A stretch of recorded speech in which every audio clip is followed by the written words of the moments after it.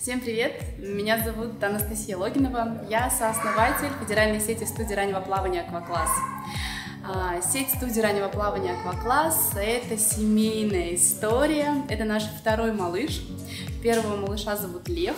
И когда ему исполнилось 10 месяцев, родилась идея открытия вот такой прекрасной студии. Ну и, собственно, это большая история, в которой мы растим наших малышей, ваших малышей. Мы занимаемся физическим развитием, мы занимаемся эмоциональным развитием. Наши малыши играют на занятиях.